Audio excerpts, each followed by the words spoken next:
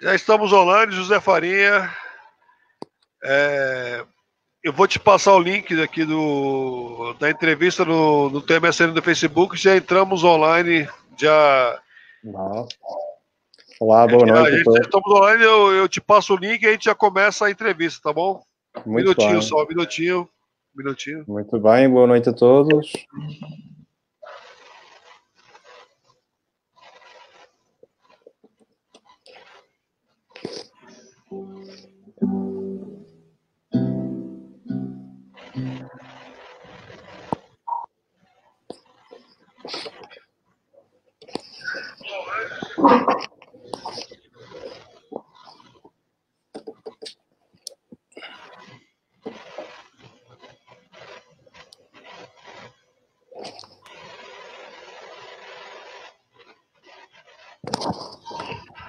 Ah, já te enviei, né? Caso no. Na, na, na caso. Ok. Ok. Pra você for, for, compartilhar, não, não sair a tela inteira com a gente aparecendo, tu me avisa aqui que eu dou um jeito. Copiar endereço de link e colar, não é? Portanto, isso, isso, isso. Sabes, sabes que eu, eu e, e as redes sociais somos muito pouco sociais, muito pouco sociáveis. Ok, olha, ah, exatamente, aqui estamos nós, vamos partilhar aqui, aqui para todo mundo. Aqui, muito bem, estamos online. Ok. Está partilhado, Sérgio. Deu certo, deu certo aqui. Vou, vou, vou, vou, vou verificar aqui rapidinho. Espera um pouquinho. Sim, senhora.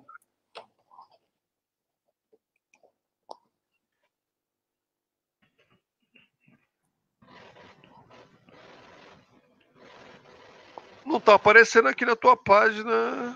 Não tá aparecendo aqui. Tá, tá. Não, pera, pera, pera, eu vou atualizar, pera um pouquinho, vou atualizar, né? Ah, tá aparecendo já aqui. Ok. Já vi que tá aparecendo, já tem algumas pessoas aqui online, fico feliz. Exatamente. Bom, tá aparecendo aqui na tua página.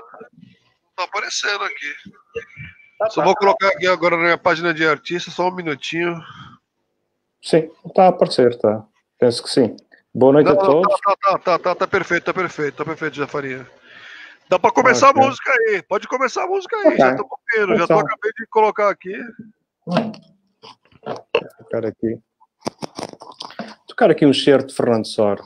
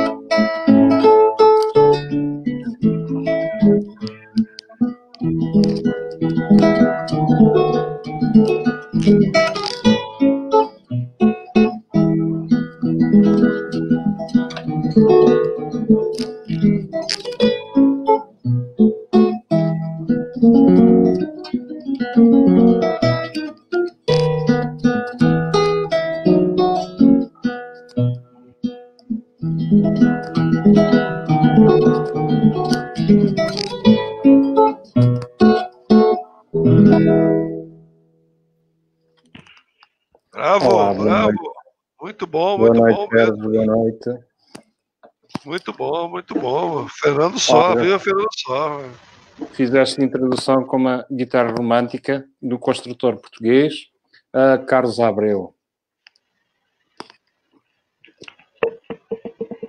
Deixa-me só entretanto tirar aqui o,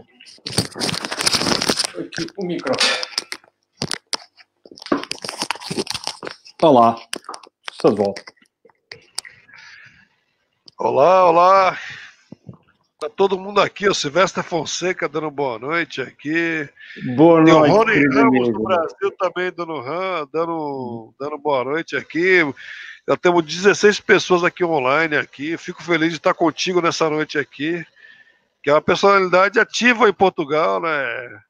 Você, José Faria, é uma pessoa que pegou a guitarra do começo, né? Do começo da guitarra, né? Foi a primeira, a primeira tuba, né, de Évora, foi ou não foi? É, sim, é, é, verdade. Olha, Sérgio, em primeiro lugar, eu quero te agradecer uh, pelos teus uh, elogios. Uh, não sou assim tão velho, não sou assim tão velho. sou mais novo, portanto, não sou propriamente do começo do começo da guitarra em Portugal. Há quem seja mais velho que eu. Uh, isto é uma piada, mas sim, eu sou realmente, faço parte da primeira turma que abriu da Universidade de Évora. Uh, nomeadamente a Universidade de Évora abriu o curso de música, uh, também com o curso de artes plásticas e o curso de estudos teatrais em 1996 e foi aí que eu entrei nessa turma uh, com colegas, não é? Com vários colegas, não éramos muitos, penso que seis, sete, oito colegas, Uh, e fizemos a primeira turma de, do curso de música da Universidade de Évora, em 96. Legal, legal, tá certíssimo. Antes de começar, vou mais uma vez agradecer você, né, José Farinha, que é a grande celebridade aqui de Portugal, uma pessoa que todo, toda a gente conhece, todo aqui em Portugal, né, um grande guitarrista, um grande professor também é, tá, tá na docência há muito tempo, né?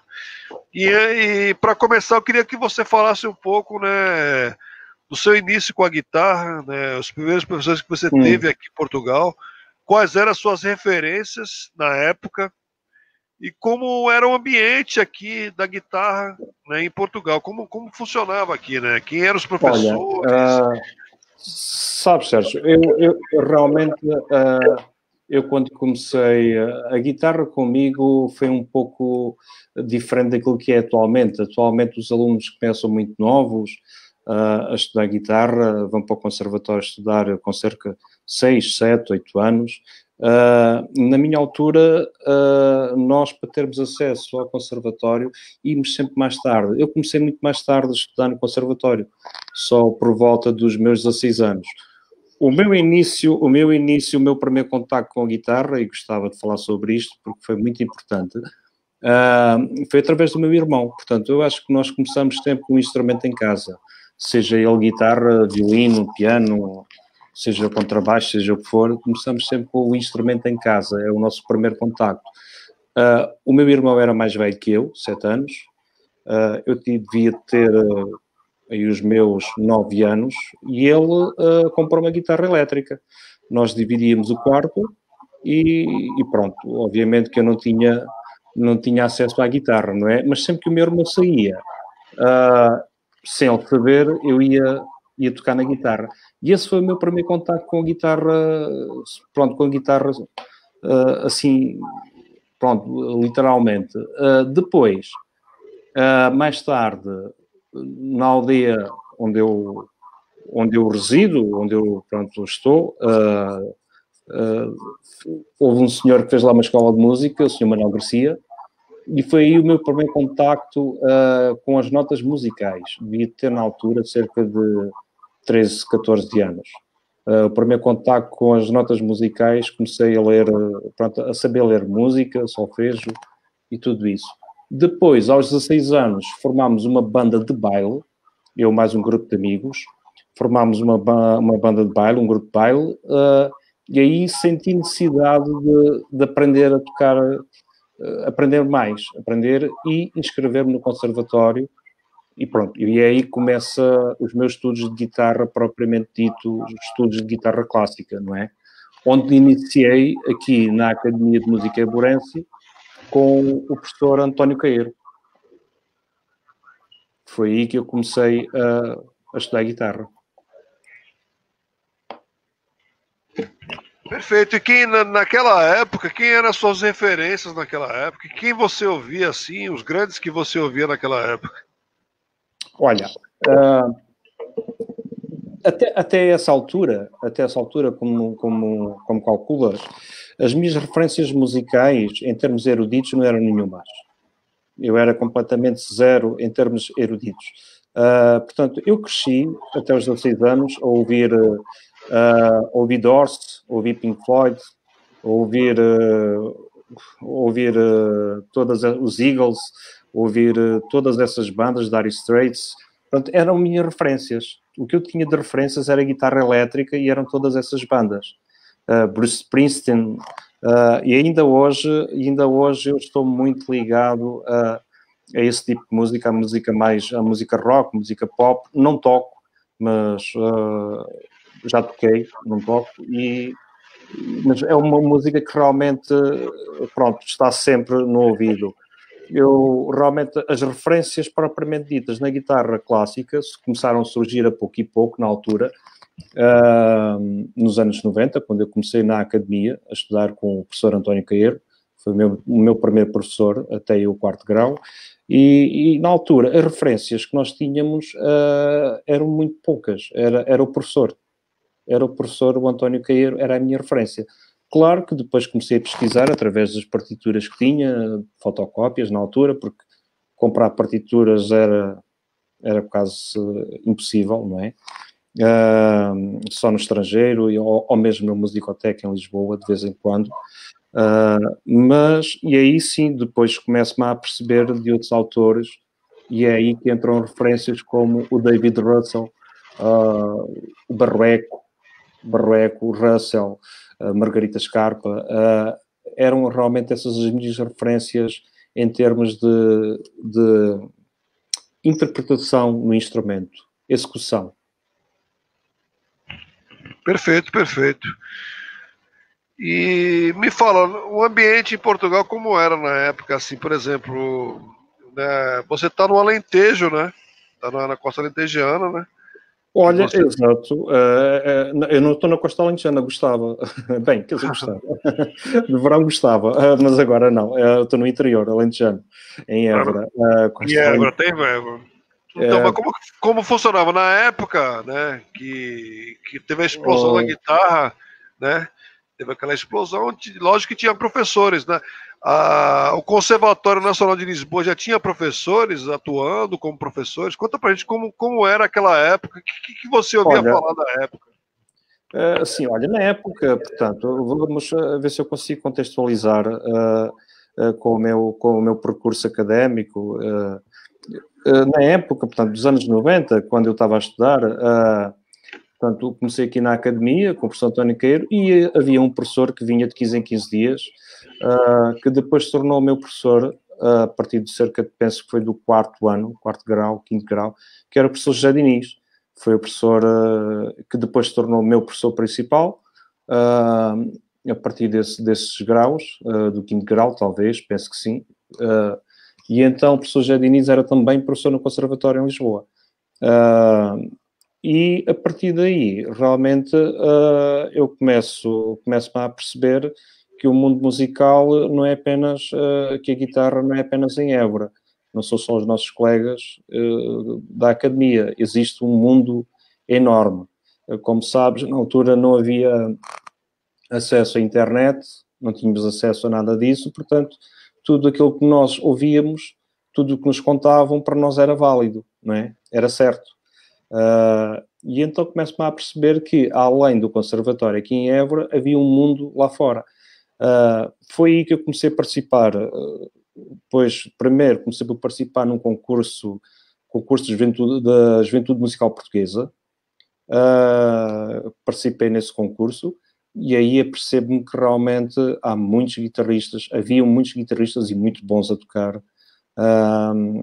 em Lisboa e não só. Foi aí que conheci, por exemplo, uh, o Pedro Rodrigues. Uh, ainda ele não era tão grande. se ele está, está, a ouvir, se ele está a ouvir, ainda era, era um pouco mais pequeno, mas era, já era grande na altura.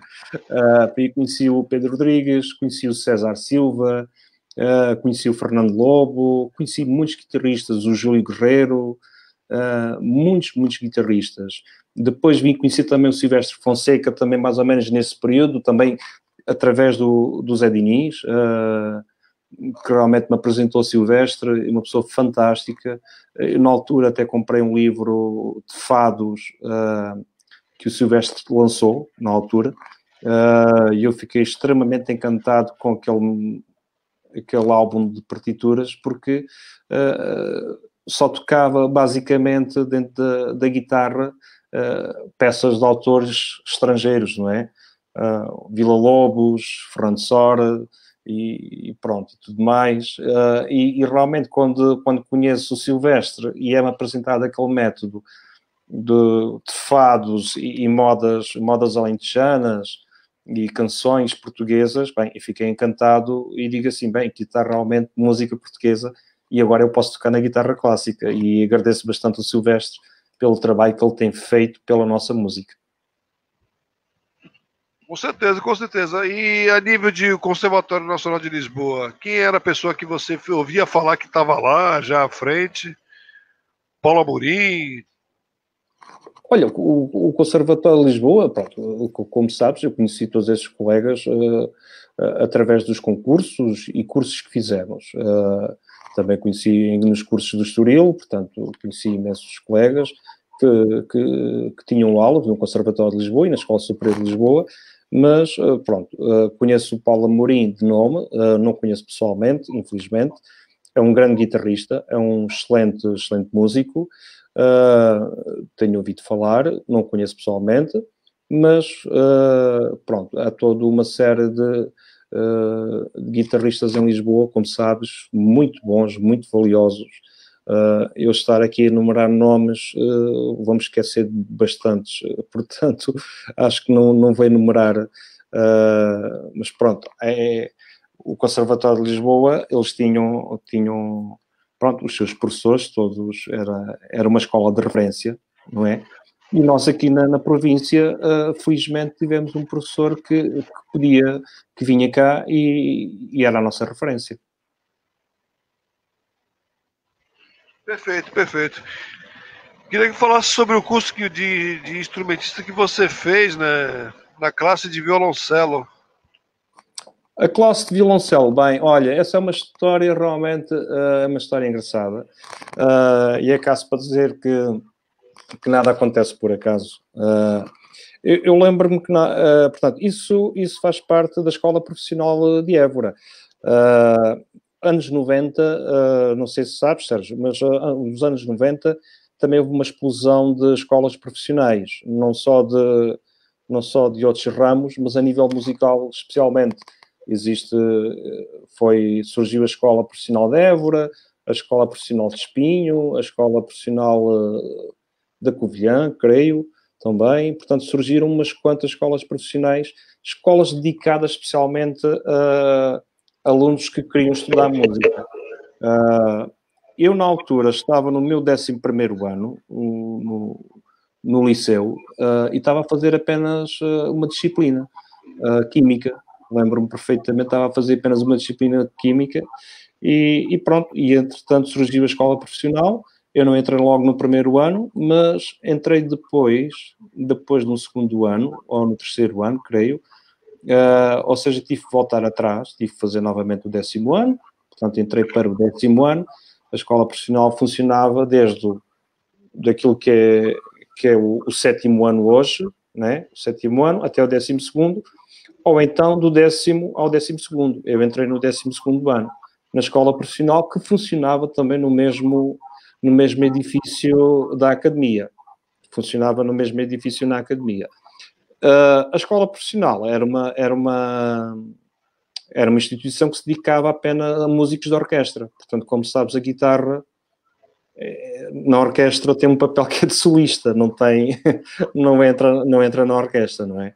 Uh, e então, portanto, não havia forma de eu entrar na escola profissional uh, como guitarrista. E, e então uh, eu continuei a estudar guitarra na academia, continuei a estudar e inscrevi-me, portanto, fui para a escola profissional, não como guitarrista, obviamente, mas com um instrumento que fosse compatível com, com guitarra. Uh, e aí surgiu o violoncelo, que é o instrumento mais, mais parecido uh, que possamos assemelhar à, à guitarra, não é? Uh, em termos de tudo o que é digitações, tudo o que é, tudo o que é mecanismo, excepto a mão direita, mas tudo em relação à mão esquerda é muito semelhante à guitarra. E então fui pelo violoncelo. Uh, fiz, fiz o curso, portanto, não fiz propriamente o curso todo, fiz o quinto grau de violoncelo, uh, décimo segundo ano, fiz o, o quinto grau de violoncelo, uh, não consegui fazer o oitavo ano, pois claro, em três anos seria muito difícil, mas fiz, fiz três anos uh, e consegui fazer o quinto grau de violoncelo, e pronto, e foi exatamente na mesma, no mesmo ano em que acabei o conservatório, a academia, o oitavo grau de guitarra, e depois entrei na universidade em 96 uh, para o curso superior. Perfeito, perfeito. E vamos falar agora das, das masterclasses que você participou na época, né? Você teve acesso Sim. a muito, muitas masterclasses, né? Quem, quem você chegou a tocar? Uh, olha, uh, masterclasses eu, eu, frequentei, frequentei algumas. Uh, frequentei a primeira masterclass que eu frequentei foi com Alberto Ponce no Estoril. Creio que frequentei uma, apenas assim, frequentei apenas uma vez com Alberto Ponce em que, pronto, como sabes, o Alberto Ponce é uma grande referência da guitarra, uh, era. Uh, temos imensos, imensos colegas guitarristas em Portugal que estudaram com ele e, e realmente uh, foi, foi, foi, foi uma experiência fantástica para mim poder ter, ter conhecido e trabalhar com o Alberto Ponce. Mas estou-me a lembrar que ainda do Albert, antes do Alberto Ponce, e é aí que, que eu acho que os masterclasses são muito importantes, uh, havia, havia, nos anos 90 os chamados os cursos do Convento de Cristo em Tomar. Não sei se não sei se conheces, talvez não. Uh, Havia os cursos, havia os cursos. Já ouvi falar, já ouvi falar, já ouvi falar. Exatamente, os cursos nos anos 90 eram, eram 15 dias, eram 15 dias de curso, uh, em que nós ficávamos uh, no convento a dormir. Uh, portanto, era, era, música 24 horas por dia, por assim dizer. nós estávamos no convento, portanto, almoçávamos lá, vínhamos, jantávamos em Tomar, voltávamos para o convento e, e na altura quem, quem ministrava o curso de guitarra uh, era o Zé Diniz, portanto, foi mais uma vez, uh, que já era meu professor aqui em Évora, já era meu professor aqui em Évora, portanto, na altura eu fui o, esse concurso exatamente uh, porque ele me convidou a ir, pronto, e, e obviamente eu, eu fui, fui nesse ano, e, e creio que fui mais outro ano, mas foram 15 dias de uma experiência fantástica, onde eu posso dizer que foi aí que se fez o clique que eu disse que realmente não, é este o caminho que eu quero, que eu gosto, é esta a guitarra que eu gosto. E foi quando eu abandonei de, vez a guitarra elétrica. Portanto, hoje já não toco guitarra elétrica, já nem sei tocar, já não. Uh, mas foi aí que eu abandonei a guitarra elétrica e foi aí que se fez o clique, porque conheci imensa gente, imensos músicos muito bons. Conheci, conheci olha, o Miguel Carvalhinho, lembro-me na altura, o Manuel Tavares, uh, conheci tantos guitarristas bons uh, por lá, fez tanta boa música. Era um curso de guitarra que, de, de, violino, com o professor Manuel Teixeira, creio, e, e, e de flauta também. Portanto, eram três instrumentos. E, e fazia-se música de câmara nos claustros, uh, faziam-se concertos todos os dias. Uh, quer dizer, era uma coisa, era, era música, foram música de 15 dias que, que realmente quem passa por essa experiência uh, tem que se fazer um clique forçosamente.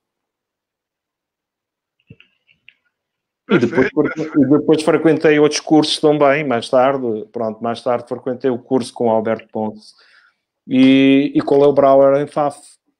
Uh, frequentei também o curso com Leo Brauer em FAF, onde aprendi imenso. Uh, Uh, aliás, aprende sempre muito, em todos os cursos aprende, e, e, vale a pena sempre ir. É isso que eu digo aos meus alunos, vale sempre a pena ir. às vezes, mesmo que seja, mesmo que seja para para saber como não se faz, não é? às vezes, às, às, vezes, para saber como não se faz. Não, mas é muito importante, porque nós aprendemos com todos, e, e essa é a minha, é a minha ideologia, uh, aprender com todos. E, e, e de facto, uh, há muitos bons músicos numas áreas, há bons músicos noutras áreas, e eu tento aprender com eles todos, porque todos têm algo para nos ensinar. Isso é muito importante nós estarmos uh, abertos a novas experiências e podermos comunicar com todos, ficamos sempre muito mais ricos. Isso não há dúvida alguma. Com certeza, com certeza. E o que que te fez né, ir para a graduação na Universidade de Évora? Conta pra gente, né? Se foi um dilema, teve apoio dos teus pais, como conta pra gente esse, esse, essa passagem da tua vida. Olha, sabes, uh, olha, como, como, como, se dizia, como dizia um amigo meu no outro dia, uh, às vezes não, não, somos nós que escolhemos a música, é a música que nos escolhe a nós, sabes? Uh, ou seja, é um pouco a arte, eu acho que a arte é, é um pouco assim. não são os artistas que escolhem a arte, é a arte que escolhe os artistas. Uh, e, e, vai ter com eles, estejam onde eles estiverem e seja, e seja a que horas for.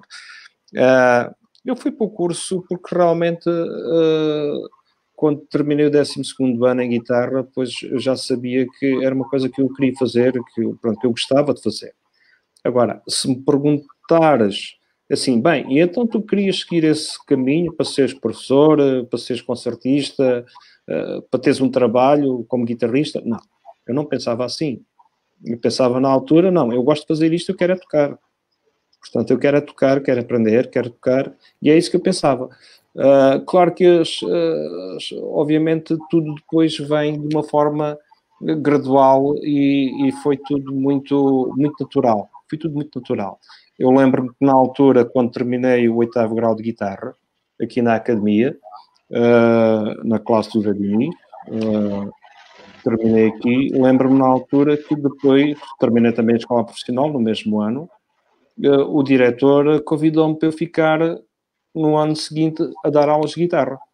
Ora, era um miúdo novo, não é? Uh, tinha 20 e, qualquer coisa anos, era um miúdo novo, uh, portanto, como podes calcular, era completamente inexperiente. Então fiquei, entrei para a universidade, fui fazer o curso, entrei para a universidade, estudei guitarra e estava a dar aulas na academia uh, com cerca de 4 ou 5 horas uh, por lá. Estava lá por mais ou menos uh, com 4 ou 5 horas no conservatório e, e pronto. E, e, foi assim que naturalmente fui, fui o meu caminho na guitarra e na música foi se tornando cada vez mais, como dizer, mais, mais forte, não é? Entendi. Me conta, e como foi ser e como foi ser a primeira turma lá de Évora. Quem foi o teu o grande professor que tinha na época de renome era o Pedro Joia, na época. Me lembro que foi. Pedro Joia sempre foi um nome muito, muito forte aqui em Portugal, né? Eu queria que você falasse lá de Évora e depois contasse também do, do que ao mesmo tempo que estava rolando Évora, já estava rolando Lisboa também, né? Universidade de Lisboa, né? E Aveiro também. Aveiro estava o Paulo Vaz de Carvalho, não é isso? Exatamente, olha, conheci o Paulo Vaz de Carvalho nos cursos de FAF com Leo Brauer e grande amigo, o Paulo, um abraço para ele, se nos estiver a ouvir, um grande guitarrista uh, e grande professor, grande professor também. Lisboa estava uh, na gira, estava o Pinheiro na gira, é isso?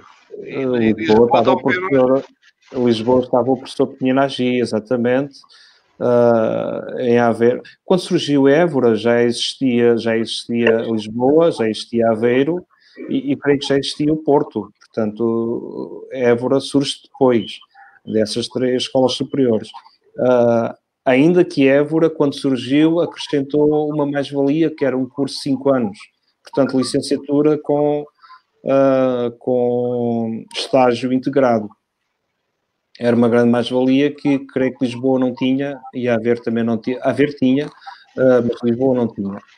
Uh, e então, sim, eu quando, quando entrei na universidade em Évora, comecei por trabalhar primeiro com o professor Paulo Valente Pereira, de Lisboa, também, foi meu professor dois anos, e depois uh, o professor Paulo Valente Pereira uh, voltou para Lisboa e, e eu comecei a trabalhar com o professor Pedro Joia. Pedro Joia e, e o professor Manuel Moraes, que também surge nessa, nesse mesmo ano aqui na Universidade de Évora. Pedro Joia, tive, o Pedro Joia era o meu professor uh, principal uh, de guitarra. Entendi, perfeito, perfeito. E você conhecia o pessoal que estava em Lisboa lá, que estava fazendo a Universidade de Lisboa? Conhecia o pessoal que também estava em Aveiro? Conta um pouco da tua proximidade com, com as pessoas que estavam né, fazendo universidade em Lisboa, em Aveiro na época. Uh, sabes, o, assim, Portugal é, é, um país pequeno, não é? Uh, e também não há assim muitos guitarristas. Quer dizer, agora, agora, agora há muitos e bons, não é? Mas no tempo, no tempo não havia assim tantos guitarristas. Era um, e é um país pequeno, portanto toda a gente se conhece. Uh, e, e, claro que eu conhecia, não conhecia, não conhecia todos, né? mas conhecia realmente, conhecia muitas pessoas em Lisboa, pessoas em, em Aveiro e no Porto, uh, muito através dos, dos concursos e, e, das masterclasses, não é? Uh, Lembro-me também uma vez que fizemos, lançámos um CD, lançámos, não, lançámos, não sei se conhece o José Peixoto, não, não, não conheço. Então, conheces, o Zé Peixoto é o guitarrista dos Madradeus. Era o guitarrista dos Madradeus. Uh, o Zé Peixoto que agora tem o trio, o trio de jazz de Lisboa. Com o Carlos Barreto. Uh, bom, então, o, o, o, Zé, o Zé lançou, lançou uh, já tinha lançado um CD com, com várias obras dele que chamavam Amarelo e, e Outros Tons. E, e depois eh, lançou também o livro, o livro com as partituras, a edição, a edição das partituras, e convidou, e convidou vários guitarristas a nível nacional uh, para tocar uma peça, uma peça de uma peça do livro, não é? Portanto, cada um tocava uma peça, não sei quantas, quantas peças tem um livro, mas éramos, éramos vários guitarristas, não sei se 11, 12 guitarristas, e aí realmente tomei contacto, creio que aqui de Évora, estive, pronto, estive eu, esteve o Eurico Pereira, um grande guitarrista também, meu colega de Évora, da universidade, uh, teve o Pedro Joia, tive eu, e, e, depois teve outros guitarristas de Lisboa, o César Silva, o Júlio Guerreiro, tiveram muitos, muitos, muitos guitarristas realmente cada um tocava a sua peça e pronto, e é assim que o meu contacto se faz com uh, fora de Évora, né? através desses, desses espetáculos, dos, dos masterclasses, dos cursos, e, e, eu acho que é assim que se faz também com toda a gente, né? para sair da província tem que ser através dessa, desses métodos. Ah, com certeza, por isso que é importante né, o contato de masterclasses, mesmo em outro lugar, né, para a pessoa sair da província e conseguir né, ver como que está o nível, né, ver como que está em, em, comparar, em, se comparar em relação aos outros. Tá, eu tenho vários amigos que é contra a comparação, mas a comparação é boa. Eu acho que é boa porque sem a comparação você não consegue ter a referência. É, é, ex exatamente. Uh, sem comparação, uh, não podemos ter uma referência. Uh, hoje, felizmente, já temos internet, podemos comparar. Né? Basta clicar aqui, ir aqui ao YouTube e ver, e ver o que é que se passa no mundo e ficamos completamente doidos, não é? com tantos jovens a tocar tão bem, não é? Na altura, na altura, nos anos 80, finais dos anos 80, anos 90, Uh, sabes que a única forma que eu tinha de ouvir música era através de CDs, muito poucos, muito poucos, e através de cassetes. Eu lembro-me, ainda lá tenho, ainda lá tenho guardado religiosamente numa gaveta, tem lá um álbum com os perludos e os estudos de Vila Lobos. Não sei quem tocava na altura, não sei quem era, quem era o intérprete, uh, mas era uma coisa, uma coisa que eu guardo porque aquela era a minha referência. Eu tinha cassete e ouvia os preludes e estudos uh, do Vila Lobos em cassete. Eu, quando estou a falar em cassete, é aquelas cassetes antigas, não é? Lembro, eu lembro, eu lembro como que é, eu lembro como que é.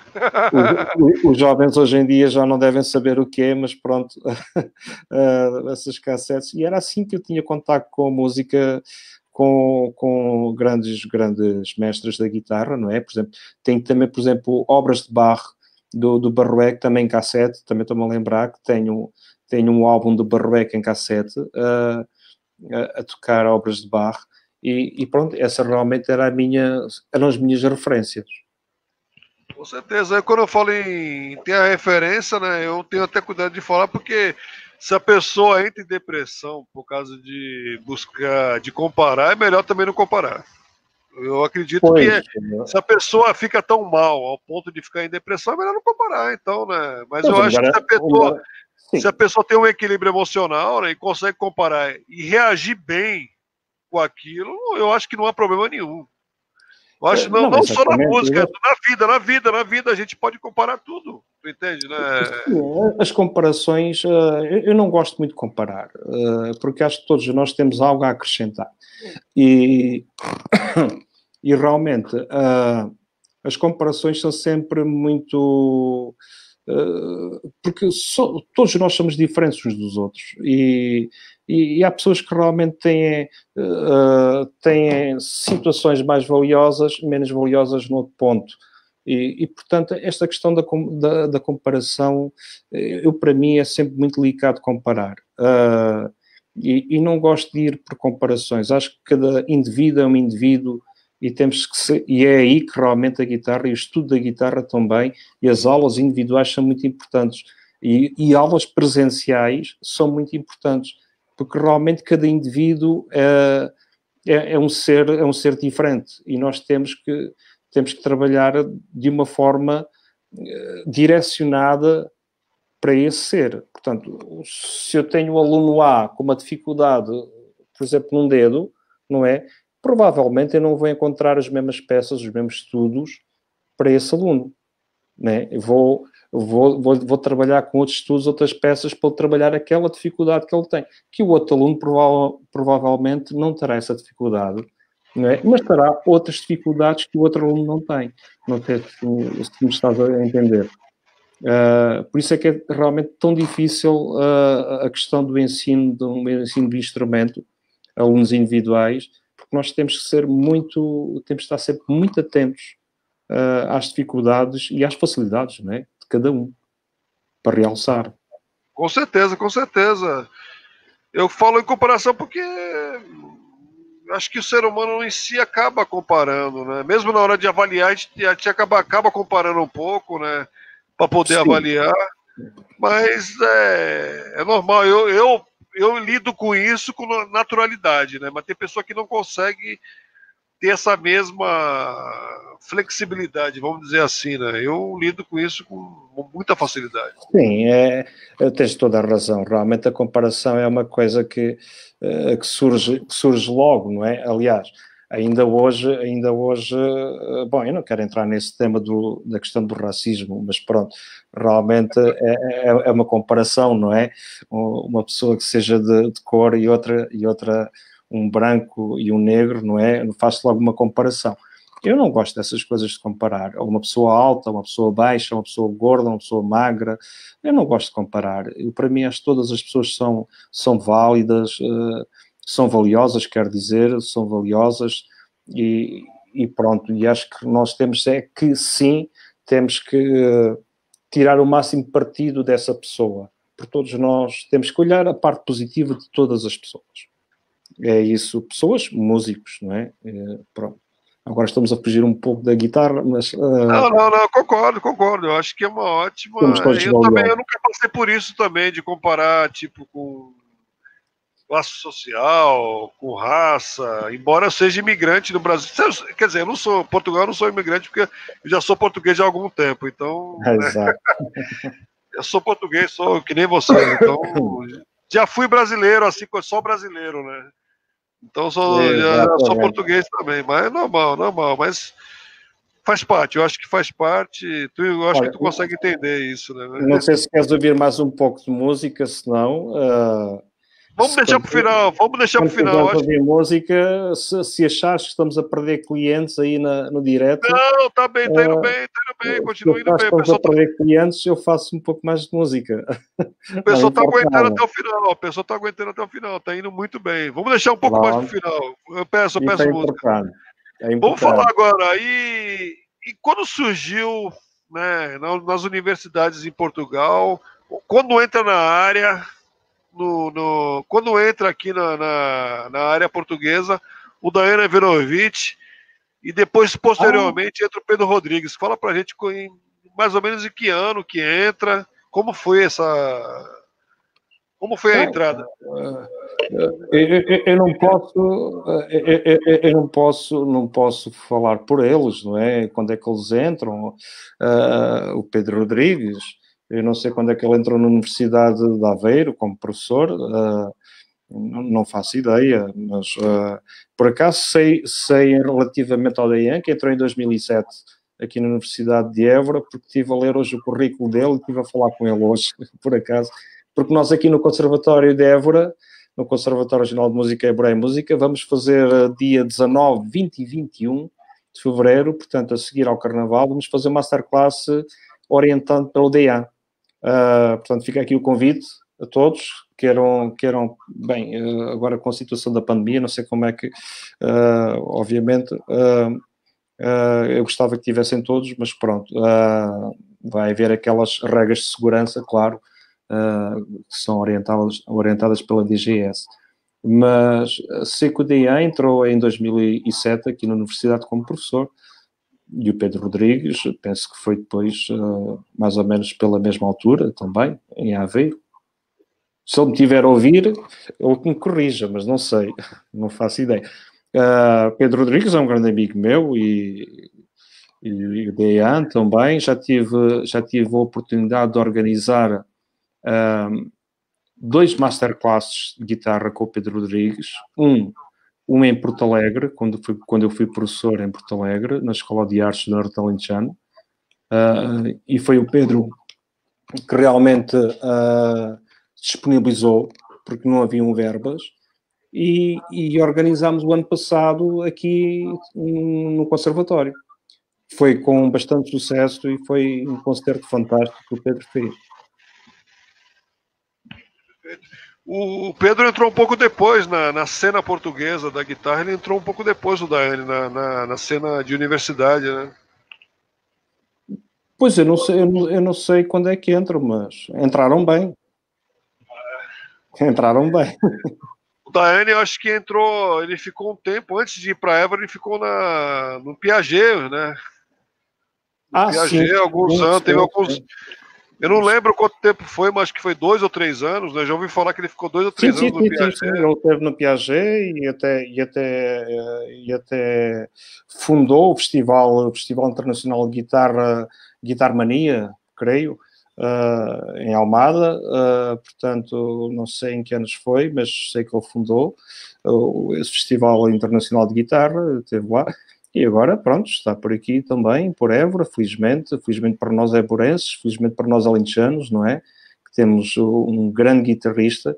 E felizmente que o DEAN vai fazer também uma masterclass ali no Conservatório Éboreia Música, 19, 20 e 21, com concerto, sexta-feira, com um concerto fantástico, que, com obras fantásticas de Bach e Piazzolla, mas pronto, isto não se pode dizer, também ninguém nos está a ouvir, não é?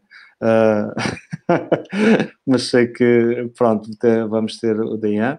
E isto é uma forma de. Uh, portanto, o Conservatório organiza, a proposta é minha uh, e o Conservatório organiza, felizmente. Tivemos verbas este ano para conseguir organizar.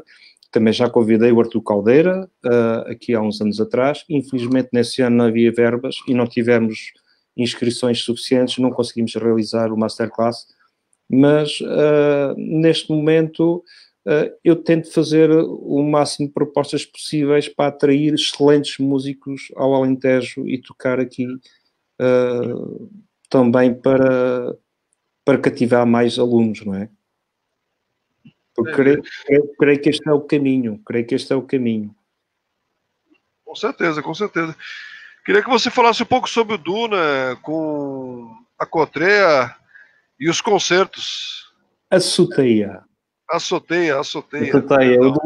O do Soteia, o do Soteia é, foi, é, pronto, depois o do Soteia foi com do, com o José Diniz, uh, o do Soteia. Uh, eu não sei como surge, eu não sei como surge propriamente o, o dueto, não sei. Uh, eu na altura, pronto, uh, o Zé Diniz sempre foi meu professor de guitarra principal. Uh, para mim era, como sabes, ele já não está entre nós. e então, mas para mim o Zé Diniz era realmente, além de guitarrista, ele era um mentor. eu digo isto mesmo porque é, é, um facto, é um facto, mesmo hoje, pensando melhor, é um facto, porque ele era realmente uma pessoa estrondosa, uma sabedoria incrível. E, e creio que nós formámos o Duas Soteia uh, porque começámos a tocar uns duetos. Uh, ele tinha uma casa aqui em Évora com uma azoteia. E nós estávamos a tocar uns duetos, uh, tocávamos uns duetos lá na azoteia, apanhar um bocadinho de calor, um bocadinho de sol, além de chano, e, e sim, assim se formou a azoteia. E depois surgiu um convite ao outro para uns concertos, e, e nós ainda ficámos, então ok, agora qual é o nome do Dudu? Uh, e então ficou do azoteia. ficou do azoteia por isso, por uh, realmente nós trabalharmos na azoteia uh, da casa do, da casa de Évora. Diniz, uh, e ficou do. Uh, e com o Dulce Teia, com o Dulce Teia, pois fazíamos, trabalhámos, era um dueto de guitarras, inicialmente, depois mais tarde ainda fizemos algumas coisas com bandolim, guitarra e bandolim, que o Zé Diniz tocava muito bem bandolim, muito bem mesmo. Uh, e então fizemos uns, uns quantos concertos, uh, tivemos ainda no festival, uh, no festival de Lousada, Lousada, tivemos no festival, onde, onde eu conheci o Artur Caldeira, onde eu conheci o Aires Pinheiro. Foi nesse momento, não sei precisar o ano, mas estivemos lá a fazer um concerto. O Artur também fez um concerto. O, o Aires estava lá ainda como aluno, uh, lembro-me na altura. Hoje é um excelente guitarrista, um excelente pedagogo. Uh, e então fizemos uns quantos concertos muito, muito bons. E trabalhar com Zé Diniz como dueto, para mim, aliás, se forem o YouTube, uh, não tem, não tem, não tem é... aliás, tocámos obras fantásticas do Silvestre, os Sons do Tejo, uh, mais umas quantas, a Tendinha, lembro-me lembro da Tendinha, os fados, os fados também do Silvestre, alguns deles, Uh, e, e, tocávamos obras de tocámos obras de Vila Lobos, de Carul, uh, obras também especialmente uh, de caráter latino, de Ignacio Cervantes, Jorge Cardoso. Fazíamos muito repertório da América Latina também. e então, mas pronto, como te digo, fazer o dueto com ele era como o discípulo e o mestre, não é? É um pouco assim. Portanto, eu estava sempre a aprender com ele. Sempre.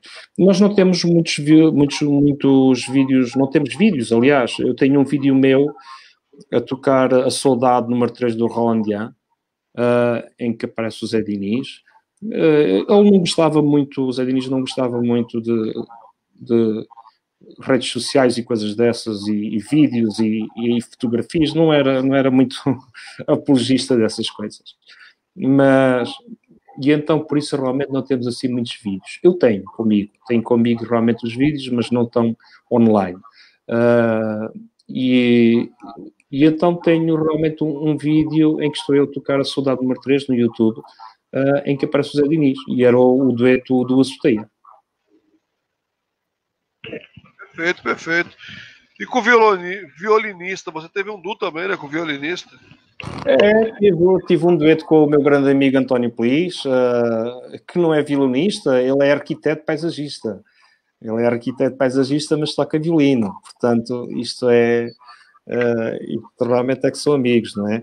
Uh, e sim, fizemos um trabalho, nós éramos colegas aqui no conservatório, na academia, e, e, pronto, como fiz, como fiz trabalhos com cantoras, música de câmara, sabes que a guitarra, a guitarra é um instrumento que casa muito bem com canto e com violino, e ou flauta, não é? Com estes, com estes três instrumentos casa muito bem. Uh, e realmente, pronto, o António, fiz um dueto com ele uh, e tocámos muito Paganini. Tocámos desde as sonatas, a sonata concertata, o, o cantável, tanta coisa, bem, é, e muitas coisas nós fizemos de Paganini, e não só, e, e, fizemos também de Piazzolla, imenso repertório, e pronto, fizemos, tocámos mesmo muito, muito, muito. Nas pousadas de Portugal, chegámos a tocar, éramos músicos residentes aqui nas pousadas de Portugal, uh, tanto eu em dueto com o António Peliz, e tanto eu em dueto com o Sérgio Jorge Marques, que era meu colega de guitarra na Universidade em Évora. Uh, e então éramos músicos residentes e, foi, olha, essa foi uma forma de eu pagar os estudos. Uh, realmente, quando falaste o, o, a parte em que é que os meus pais me ajudaram, os meus pais sempre me ajudaram, imenso. Os meus pais sempre me ajudaram. Uh, mas na altura eu já não era criança, já tinha 20 e tal anos, portanto eu fui estudar na universidade, quer dizer, e não me sentia bem dizer assim, ok, agora se vocês vão ter que pagar os meus estudos. Não, eu estava, eu podia tocar, eu, eu fazia aquilo com todo o gosto e ganhava dinheiro. Portanto, se eu ganhava, e digo-te que era um trabalho muito bem, muito bem pago na altura, mesmo muito bem pago, uh, e eu podia realmente pagar a universidade, e fui eu que paguei a universidade, uh, as propinas e tudo isso, uh, porque realmente, pronto, é como te digo, ou seja, a música, a guitarra, para mim, é, é, uma coisa que não é trabalho, é prazer. Claro que, claro que obviamente, somos profissionais e precisamos de viver e, obviamente, é um trabalho, não é? Portanto, é um trabalho e eu acho que tem que ser pago, não é? Uh, mas por isso digo, eles me apoiaram, mas nesse aspecto eu, eu próprio fiz questão de ser eu a pagar. Com certeza, legal, legal. Parabéns, meu, parabéns pela tua trajetória. Sabes que não era, eu acho que é justo, não é? Eu acho que é justo, eu acho que é justo uma pessoa que já trabalha, que já trabalha, que, ou seja, não tem que estar a pedir o outro mais, não é? Se eu trabalho e ganho, então vou pedir o tudo não tem nada que estar a pedir, certo? Uh, a, a, música começou-me a dar dinheiro muito cedo, uh, como digo, nos bailes. Uh, quando comecei a tocar nos bailes, que era o grupo o Nova Aliança, com, lá com os meus amigos da Vendinha, ali da aldeia, uh, grandes amigos, nós ganhávamos, era três contos por baile. Ou seja, três contos por baile, ou seja, isto hoje em dia dá 15 euros uma noite inteira a tocar nos bailaricos a ganhar 15 euros. E nós éramos extremamente felizes e, e, esse dinheiro dava, normalmente era sempre, era um dinheiro que eu, que eu, que eu depois uh, investia também em, em guitarras ou, ou, em pedais ou em coisas. Era, era sempre para a música também. É como hoje em dia. Hoje em dia também é a mesma coisa, portanto, eu vivo da música, vivo da guitarra, mas também acabo sempre por investir uh, na música e na guitarra. Basicamente é assim. Legal, legal. Vamos falar, você que acompanhou a guitarra, né? Praticamente desde o começo, que o Silvestre, que já teve uma entrevista comigo aqui, ele pegou na época, desde que era o aquele grande professor lá, o Duarte Costa, tava no, que estava né, ah. ainda vivo, né? Ele pegou dessa época, você já pegou uma outra geração que pegou a guitarra que estava no conservatório e foi para a universidade e tal, né? Você pegou a fase da implementação e hoje em dia você vê muita gente, né, da geração nova, né, é, ainda jovens, jovens, né, guitarristas, né, sim, sim, se destacando sim, é. como como Joaquim Santos Simões, como uhum. aquele outro menino lá, um aluno do Daiane, esqueço o nome dele lá, o o Joaquim Santos Simões. Eh, Simões é, uma, é um grande, é um grande, é um grande e tem levado o nome de Portugal.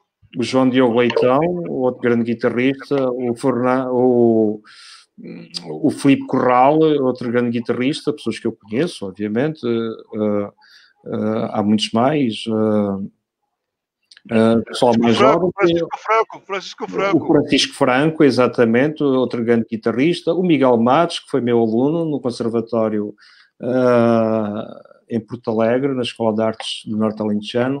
O Miguel, que é um grande guitarrista também.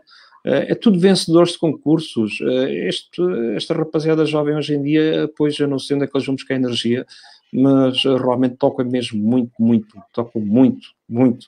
Eu, quando tinha a idade deles, não fazia a mínima ideia se alguma vez se alguma vez iria ver alguém tocar assim naquela idade. Eles tocam muito. O meu próprio colega, o João Macedo, toca muito bem, professor no conservatório aqui em Évora, uh, que foi meu aluno, também, foi meu aluno, mas, e agora é meu colega, é um jovem, um bocadinho mais velho, uh, que esses colegas que falámos, mas uh, também é um jovem. O Silvestre é, é, um jovem, é um jovem mais crescido, é um jovem mais crescido, mas continua a ser um jovem.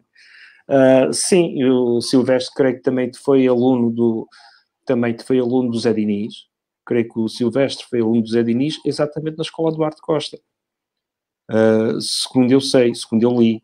Uh, portanto, não sei se estou a dizer alguma barbaridade, se não, uh, se tiver, Silvestre, peço imensa desculpa, mas pronto, realmente há aí um elo de ligação e, e, pronto, e, e cá está, a escola, a escola, a escola de Zé Diniz realmente influenciou muitos grandes guitarristas em Portugal, muitos mesmo.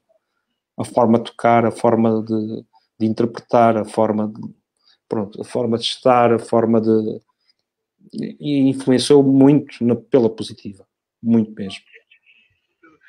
Mas essa nova geração tem levado o nome de Portugal para a Europa, que até, até então, né, é, Portugal não era muito falado na guitarra clássica, né? Eu acho que com essa nova geração, Francisco, o Joaquim Santos Simões, conseguiram colocar o nome de Portugal na, na Europa, né? Nos concursos. O que, que tu acha? Tua opinião, assim, o... Olha, eu acho, eu acho que eu acho que isso é muito bom para nós, não é? Eu acho que isso é muito bom para nós porque realmente uh, começamos a aparecer também nós na guitarra uh, também uh, nos jornais internacionais como vencedores, não é? Isso é extremamente importante. Eu acho que isso é, é orgulho para nós, não é? para nós, professores de guitarra, ficamos extremamente orgulhosos.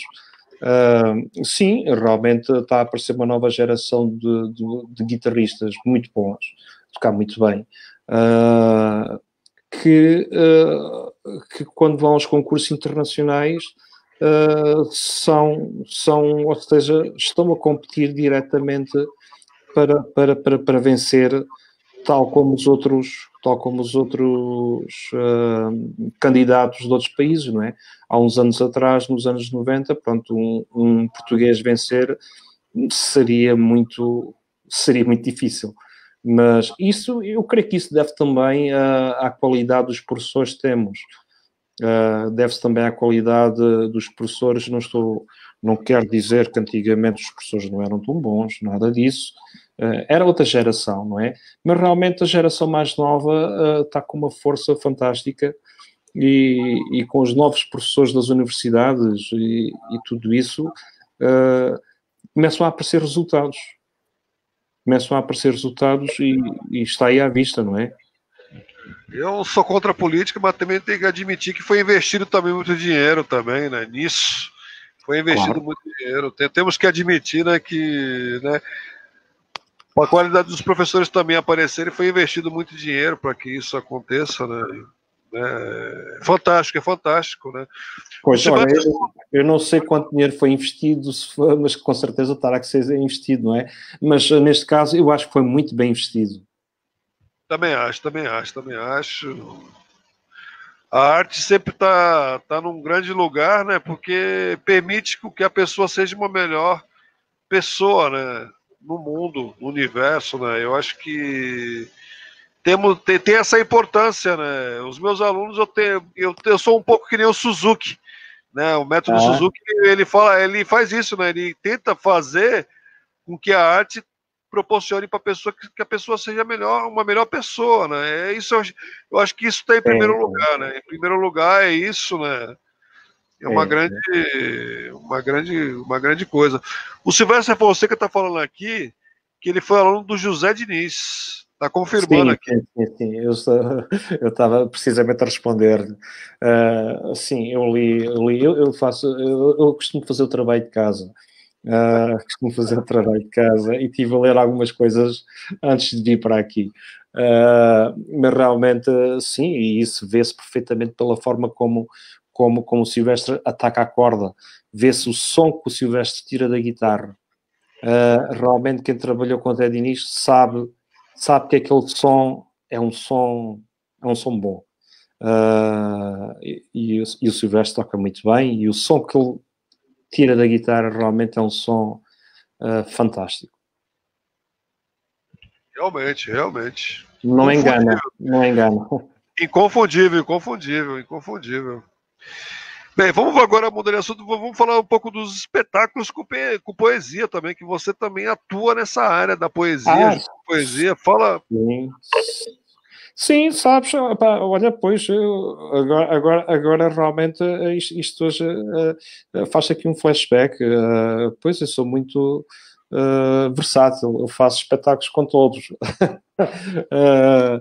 não, eu compa olha, eu para mim a música é uma coisa que que eu gosto muito.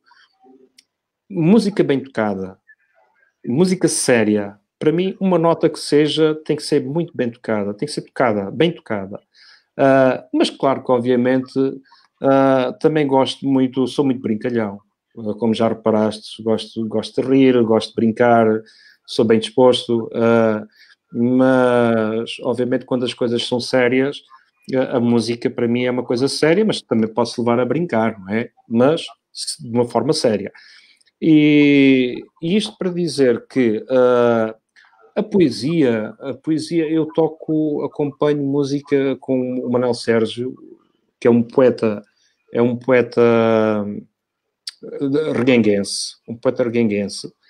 E, e comecei a fazer, acompanhar o Manuel Sérgio não só eu, mas com outros grupos que eu tinha, com o violino também, com o António Plis, acompanhávamos poesia com violino e guitarra, e depois com outros, com outros colegas, outros amigos que, que me acompanharam, e até que uh, fiquei eu a acompanhar realmente o Manuel Sérgio à guitarra.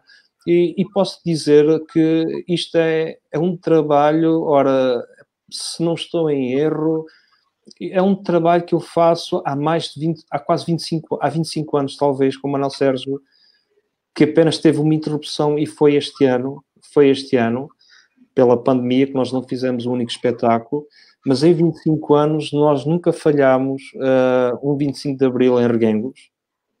Uh, participámos sempre no 25 de Abril, uh, nas comemorações do 25 de Abril em Reguengos. Eu a acompanhar o Manuel Sérgio na poesia. Uh, e acompanho também muito em Monsaraz, uh, por, uh, por ocasião de, de, dos espetáculos da Bienal Monsaraz, Museu Berto, ou a Festa do Cante. É, portanto, a poesia e o canto estão muito ligados. E eu realmente gosto muito de acompanhar o Manuel Sérgio porque ele diz poesia de uma forma tão genuína e tão, e tão poderosa que às vezes só a voz dele faz, faz tocar a guitarra. Com certeza, o Silvestre Fonseca tá, colocou aqui, fui marav maravilhosamente tratado em Évora, a quando do convite de José Farinha, de você, ah, para fazer um concerto, para fazer um concerto, foi sala completamente cheia. O grande Silvestre está com a gente sempre aqui, é um grande, é um grande. Olha, Esse é, é, é, grande, é, grande mesmo. É verdade, olha, pois eu, eu, depois realmente a, a memória vai-me falhando. Ainda bem, ainda bem que o Silvestre fala nisso. Exatamente, eu convidei, convidei o Silvestre para fazer um concerto aqui em Évora e ele aceitou com muito gosto e esteve presente. Uh, há, há, vídeos e fotos desse concerto aqui em Évora, sala cheia. E, e, pronto, e foi, e foi realmente fantástico. Eu gosto muito, realmente, como professor de guitarra, Uh, pronto, já tive, já, tive, já tive o meu tempo de estudar 8 horas por dia. Agora já não consigo estudar 8 horas por dia, né? sabes que os ossos já não são os mesmos. Uh, e então, uh, neste momento, preocupa-me sim é atrair jovens músicos e fazer mais por eles. E acho que isso é que é importante. Mas pronto, obviamente, os meus concertos, vou fazendo os concertos conseguir. Infelizmente, o ano passou, não fiz nenhum, mas estou sempre disponível e, e com o mais recente projeto, o Lundu, o Ensemble Lundu, com a Joana Godinho, em que temos feito, temos nos dedicado muito à música do século XIX e, e também temos vários programas, música do século XIX e música do século XX. Uh, mas temos, temos realmente o Lundum surge sobre exatamente das peças de, das modinhas luso-brasileiras e os lundus, não é? E então surge o dueto que agora se tornou ensemble Lundum, porque de vez em quando uh, convidamos um, um, colega, outro músico, já tocámos com a com uma colega flautista, flautista e, e que toca percussão também, uh, a Daniela Tomás, e, e, pronto, então é o ensemble Lundum, nós dois, e de vez em quando surgimos com mais outros músicos a acompanhar. Perfeito, perfeito. Bem, eu já sou português há algum tempo que eu te falei, quase agora.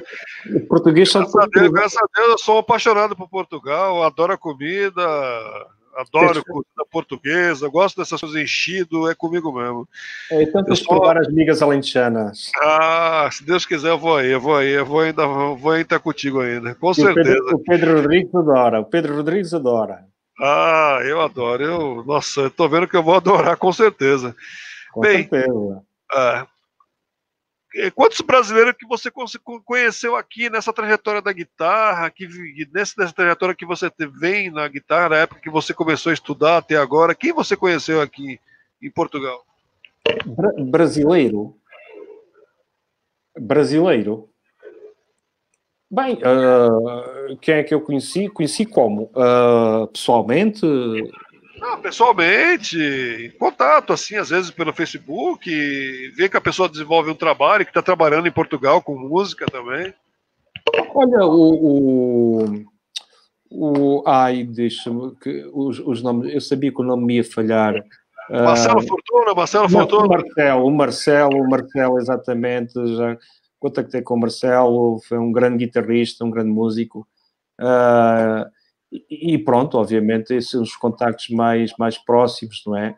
Uh, depois tiveram alguns colegas que estudaram aqui na Universidade de Évora, também, uh, não no meu tempo como estudante, mas uh, recentemente tiveram aqui alguns colegas brasileiros a estudar guitarra, e não só, clarinete também, o Fabrício, a estudar flauta, o Fabrício, o flautista, Uh, e então, mas pronto, os meus contactos com eles, uh, esses assim mais, mais diretos. Claro que depois todos os guitarristas brasileiros, os irmãos Assad, não é? O James Anamon, isso são, são questões uh, que estão sempre no meu álbum para ouvir, é, não é? O Zenamoy, ele é boliviano, mas né, vive no é, Brasil. É, okay, é, mas sim, ele vive no Brasil já há muito Ele é casado com uma, com uma brasileira e já vive no Brasil há muitos anos. Eu tive, eu fiz uma entrevista com ele, vou fazer de novo, mais para frente, que ele pediu mais uma, porque é, teve falha, teve, teve algumas falhas na, no áudio, né, na parte dele, né? A gente vai, vai repetir de novo, mas é um grande, está sempre do meu lado, é uma pessoa fantástica, é, uma, é um autor que um compositor fantástico. Mas ele é... é muito bom, muito bom, é muito bom. É. É, para, mim, para, mim, ele é, para mim ele é brasileiro já. Ah, já é brasileiro, já é brasileiro. Tem razão, já é brasileiro. A música brasileira, para mim, uh, eu sou muito influenciado, aliás, pela música da América Latina. Aliás, o meu repertório solo uh, influencia-se muito em Vila Lobos. Uh, e, e, realmente Uh, e, ou seja, como já reparaste, mesmo o do Lundu, o ensemble Lundu, uh, também vai, tem, tem a ver com música brasileira, as modinhas luso-brasileiras, portanto, uh, se eu agora estou aqui a fazer assim um, um pequeno, aqui tentar juntar aqui o puzzle, e realmente reparo que tudo em mim é um pouco América Latina, relativamente à música, ou seja, as minhas influências. Já faz parte, faz parte. Eu acho que a gente está unido, né, pela música, né? Eu acho que faz parte toda essa, mesmo o, o Joaquim Santos Simões, eu vejo que ele tem uma, uma ligação forte né, com o Fábio Zanon, com o Eduardo Fernandes. Ah, grande guitarrista, Joaquim, grande guitarrista e um abraço para ele. É, ele tem, ele tem muita, né, assim, né, tem um paralelo grande com o Fábio Zanon, com, com o Eduardo Fernandes. O Fábio Zanon agora, o Fábio Zanon tem tocado Exato. quase todo, todo ano ele tem tocado. Depois que o Albert Ponce aposentou, né? né dos cursos do Estoril, que entrou foi o Fábio Zanon, é ele que está agora, é, né? Exato, exato. Ele que ah. continua dando continuidade. Sim, sim. Uh, pronto, uh, sim, é um, é um guitarrista fantástico, não é? Que, que conheces muito bem, uh, conhecemos todos muito bem o trabalho dele. Eu adoro, eu adoro, eu adoro ouvi-lo, adoro o, a forma como ele toca, a interpretação dele. para mim é, é top. Com certeza, com certeza. Bem, é, queria que você falasse sobre o Duca Cantora também agora, né? Sim, olha, o, o Duca Cantora, o do Lundu, uh, o ensemble Lundu, uh, por falar, porque agora já se tornou ensemble, já virou ensemble, uh, surge também quando nós éramos muito jovens. eu posso, deixa-me ver se eu tenho aqui, ver se eu tenho aqui. Nós surge, surge quando nós éramos muito jovens, começámos a tocar juntos, aliás, naquela época da da escola profissional e do conservatório. A Joana era cantora, uh, cantora e também estudou violoncelo. Também estudou violoncelo. Uh, e, e, pronto, como disse há pouco, uh, realmente nós, a guitarra casa muito bem com o canto, com a flauta, com o violino. E, e pronto, nós formámos o formámos o dueto. estou? penso que há aí um problema com, com o áudio. Estou? Ah, penso estou, estou, a ouvir, estou a ouvir aí um, um, um eco, um, um delay. Está normal, está normal, está normal, pode falar. Ah, ok. Estava a ouvir um delay aí, uma conversa. Ok. Uh, penso que era um delay. Uh, não, uh, e pronto. E então surgiu o, o, o dueto. Eu comecei a acompanhar a Joana com música, música espanhola, italiana, de Mauro de Giuliana, as cavatinas de Mauro de Giuliana, as seguidilhas de Fernando Sora, e, e depois mais tarde, mais tarde na universidade, através do professor Manuel Moraes, que na altura tinha editado um livro de modinhas luso-brasileiras, com o prefácio também do meu querido professor Rui Vieira Nera, uh, e eu e a Joana realmente começámos a tocar uh, começámos a tocar as modinhas, as modinhas luso-brasileiras, porque acho que é um espólio muito importante nosso, não é? É uma parte muito rica da nossa música. Uh, ainda que as modinhas luso-brasileiras, na altura, fossem acompanhadas com a chamada guitarra portuguesa, ou cítara, não é? A guitarra... Mas pronto, nós, eu acompanho a Joana com uma guitarra romântica do século XIX, uh, para ser, obviamente, uh, mais próximo do, do, da época, não é? Uh, e, e, pronto, e agora realmente estamos com este projeto, já temos concertos agendados para este ano e, e realmente tentamos, tentamos mostrar um pouco uh, o espólio da música portuguesa no início do século XX, nos finais do século XIX, as modinhas luso-brasileiras e os lundus né? que, é, que, é, um espólio muito rico que nós temos. Uh, aliás, não sei se sabes, também a música cabo-verdiana foi influenciada uh, pelas modinhas, né? Portanto, todos estes ritmos, todos, não sei se conheces, uh, não sei se conheces o, as, as, canções, não é?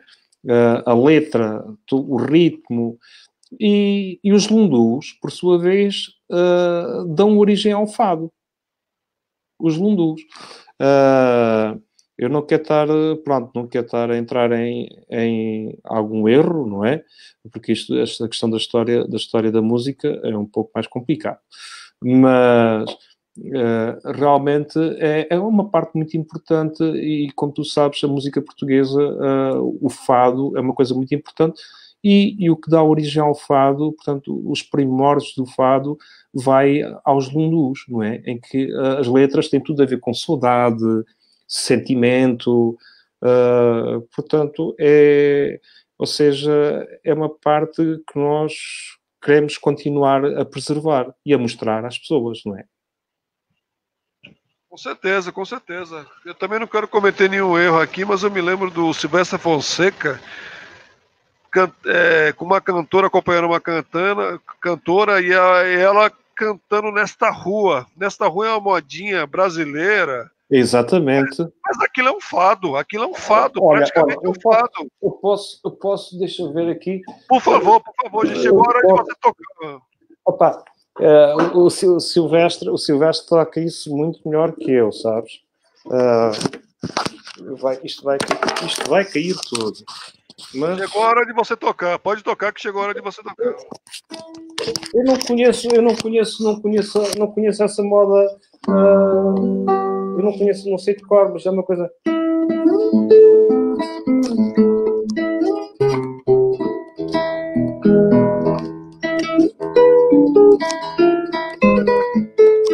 Algo assim, não é? Nesta.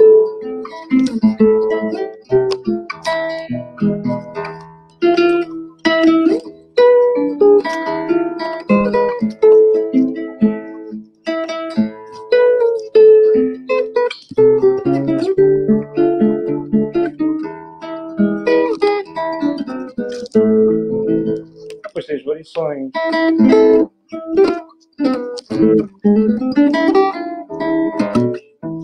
Depois temos variações, não é? É uma, é uma modinha, exatamente. É uma modinha. É uma modinha. É uma modinha, mas ela é. Esse, esse arranjo que você, tá, que você tocou é do Isaías Sábios, né? Do Isaías Sábios? Exata, exatamente. Exatamente. Este é o arranjo do Isaías Sábios. Exatamente. Uh, Deixa-me pôr. Deixa-me pôr aqui. Que legal, toca mais pra gente. Microfone.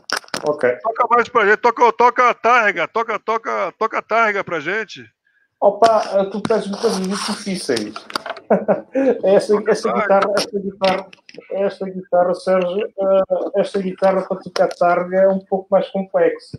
Sabes que é uma guitarra romântica que é muito mais pequena e, e por ser mais pequena também requer, requer aqui um pouco um pouco mais, dentes mais pequenos. É uma coisa que também já tem no natural, mas pronto. Uh, mas requer, requer que nós tínhamos assim um contacto com guitarra de estudo assim umas, umas boas horas. Toca lágrima, toca lágrima, lágrima, por exemplo, lágrima.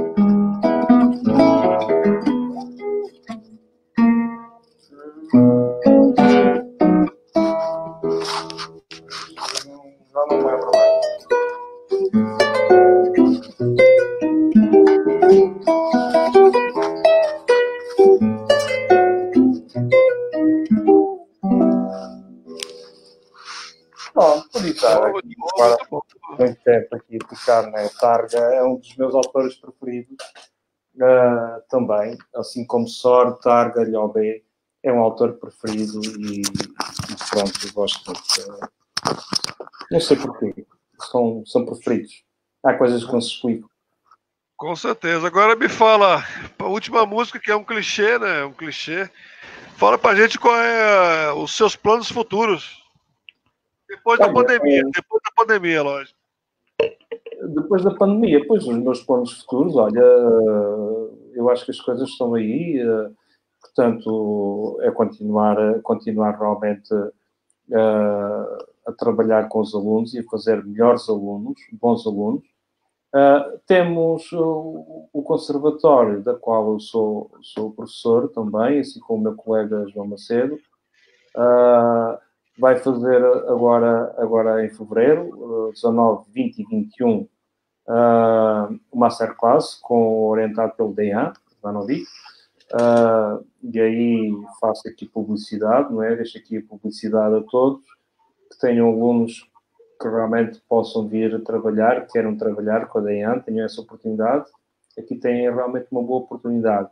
Uh, portanto, isso são coisas, uh, são projetos que já estão mesmo em cima e que vão acontecer, espero, não é? Portanto, nós não sabemos como é que tudo isto vai correr, mas, em princípio, vai acontecer, com todas as regras de segurança, mas vai acontecer. Depois tenho concertos, uh, segundo, portanto, se tudo correr bem, não é? tenho já alguns quantos concertos marcados com o Ensemble Lundu. Uh, também irei fazer alguns masterclasses, pelo menos. Era para ter feito dois masterclasses no ano passado, que não foram feitos. Um em Lagos e outro em Orem. Não foram feitos. Talvez este ano uh, se possam fazer. Portanto, irei fazer masterclass na escola do Orfeu, do meu colega Adolfo, dá aulas, uh, a convite do Adolfo, uh, e então, uh, e, e, pronto, e são esses os, os, projetos, é realmente continuar a tocar e, e, e pronto, é isso. E já acho que já é muito bom. Tá bom, tá muito bom, tá muito bom, com certeza. Escuta, agora é... tem alguma coisa para tocar ainda ou não? Tem mais alguma coisa para tocar? Alguma música no dedo para tocar? Eu, te, eu, tenho tudo em dedos para tocar, só que. Não toca, então, amor, saideira, tenho, saideira. Eu tenho tudo em dedos para tocar, agora posso é tocar mal, não é? Ah, faz parte, faz parte também, faz parte também. Olha, uh, eu não sei, esta, esta, guitarrinha, esta, esta guitarrinha do Carlos Abreu, uh, esta romântica, uh, portanto, é para um repertório muito século XIX, tocar, tocar só uh, Juliano, o que é que eu poderia tocar? Juliano. Uh, Deixa-me pôr aqui o microfone. Deixa-me pôr aqui o microfone. Olha, há, há, umas variações, umas variações, mas eu toco um pouco aqui as variações, oh, Juliano, o Op 112.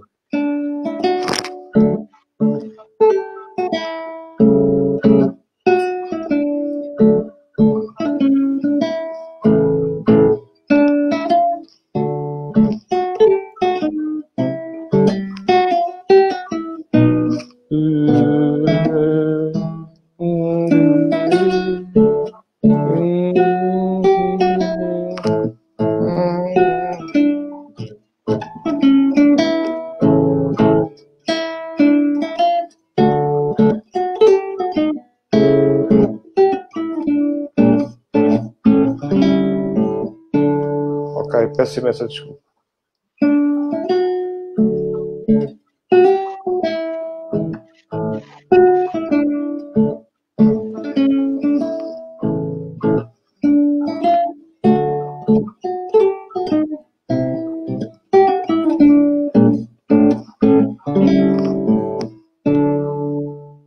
Sim, uma coisinha, não tenho, como eu disse, não tenho dedos Uh, e pronto. Uh, ótimo, está ótimo, está ótimo. Preciso estudar, preciso estudar bastante.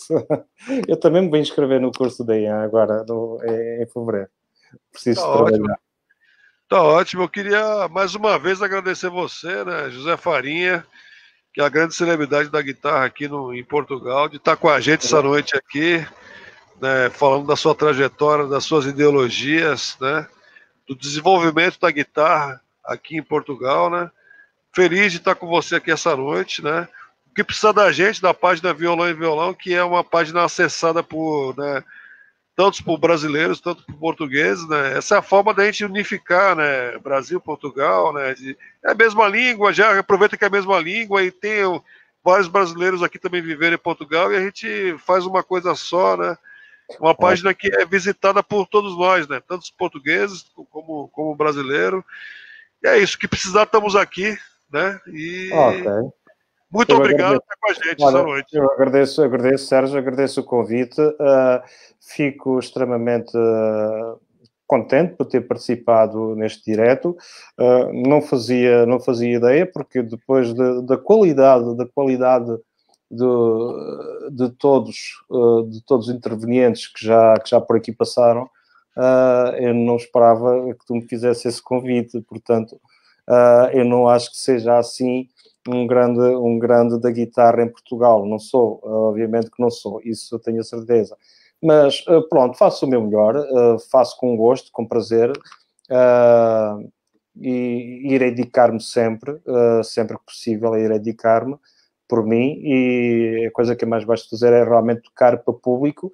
Espero que esta pandemia passe o mais rapidamente possível para que possamos estar com o contacto do público, porque realmente tocar e não ter aquele carinho, aquele calor do público, da sala, depois não, quem não é músico não sabe o que é. Uh, é muito difícil para nós não, não termos isso. Com certeza, com certeza. Ó, tenho duas coisas para te falar. Uma do Silvestre e outra minha. Bem, hum. uma é um convite, né? Em abril é o aniversário do Silvestre, a gente está tá escolhendo alguns músicos brasileiros para tocar a música do Silvestre, já tá, o pessoal está escolhendo a dedo, professor de universidade, amigos meus, né, íntimos do ah, Brasil. Muito bem, muito bem. E eu tô te escolhendo, tô te escolhendo para tocar, para escolher uma música do Silvestre para tocar, para gravar um vídeo e a gente colocar na página violão e violão. Olha, olha era, era, era, era uma, era, epá, eu, eu, eu, não, se eu não, se eu não acabasse realmente com a música do Silvestre, era, era, era terrível. É, ele pediu aqui para você tocar o tema alentejano tema lantejano, ele tá pedindo aqui. Ó Silvestre, a minha memória não é como a tua, pá. A minha idade é diferente, Silvestre. uh,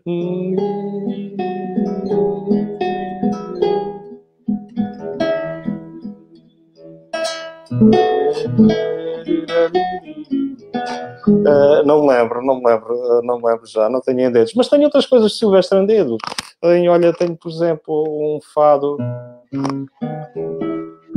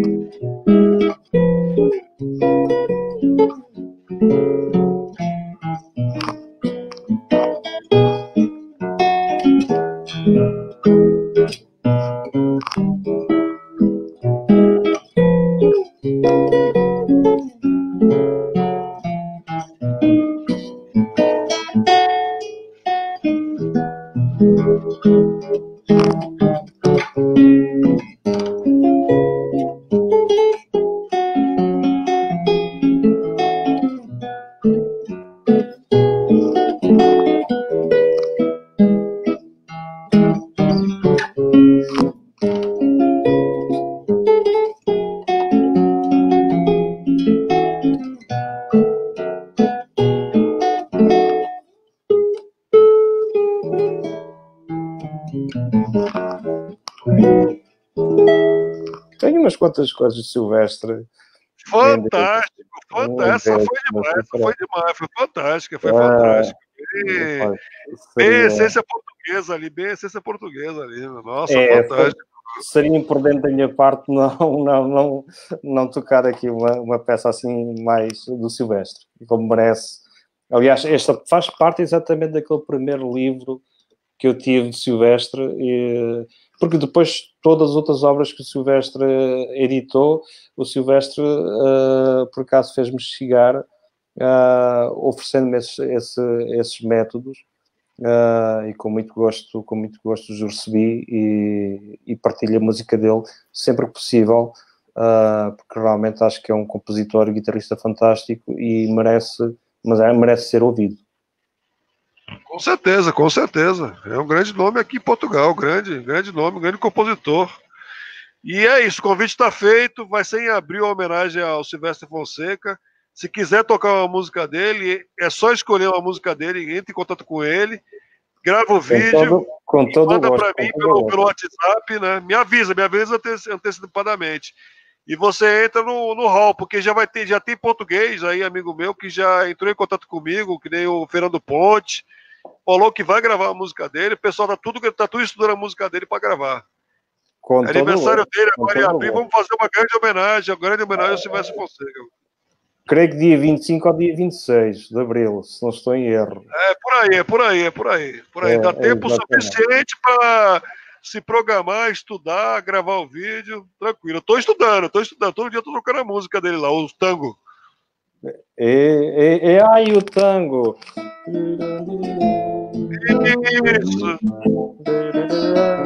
Não lembro. Isso.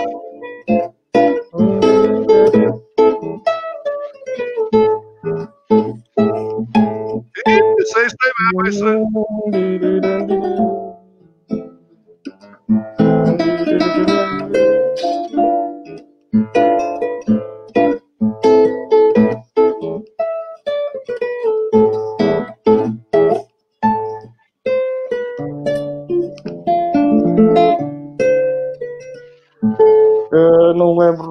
isso mesmo, é isso mesmo, é isso mesmo, é esse tango mesmo. Não que foi feito em homenagem a Galine Vale. Que foi feito em homenagem a Galine Vale. Ele dedicou a Galine Vale. Exatamente. Lembro perfeitamente de já ter tocado o tango do Silvestre também, mas pronto, não tenho nem É isso aí mesmo, é isso aí mesmo. E peço desculpa a todos, todos os restantes ouvintes não terem ouvido a peça e não ouvirem bem, mas pronto, eu não estava preparado realmente para tocar uh, e então uh, confesso que tenho que estudar, tenho que estudar um pouco, um pouco mais, bastante. Então é isso, olha, vamos finalizar então. Estou muito feliz por essa noite aí, ter convivido contigo esse momento aí. Prazer esse foi todo lindo. Meu, eu agradeço imenso. Vou dizer que nem o Roberto Carlos, esse momento lindo. é, gostei muito, gostei. É isso. Que precisar de mim, na página Violão muito e Violão. Obrigado, igualmente igualmente da minha parte e aqui da parte de todos os alentejanos, com certeza, uh, serás muito bem recebido aqui no Alentejo. Uh, Se Deus quiser, a qualquer hora vou por aí. Fico, olha, fica, fica o convite, fica o convite para vir a Monsaraz provar umas migas, umas migas daquelas boas. Tá ótimo, meu querido, tá, tá ótimo. Tá ótimo. Olha, um grande abraço para ti, tá bom? Grande abraço. Muito Até obrigado, mais. Tamo junto, tamo Igualmente. junto sempre. Tamo junto sempre. Um forte abraço. Um forte abraço. Tudo bom. Obrigadíssimo. Valeu. Obrigado. Tchau.